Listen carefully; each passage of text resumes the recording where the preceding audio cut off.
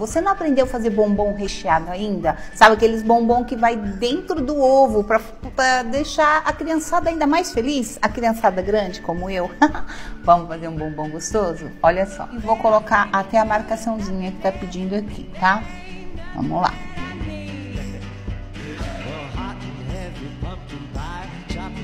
Depois de tudo pronto, eu vou colocar aqui as forminhas. Colocou, aperta até chegar aqui em cima ok?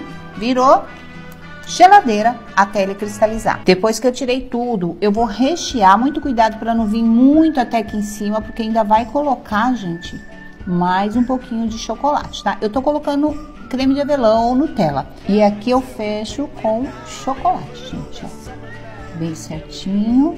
Depois de tudo fechado, volta pra geladeira de novo. Olha só o brilho, gente, desse bombom, que coisa mais linda, né?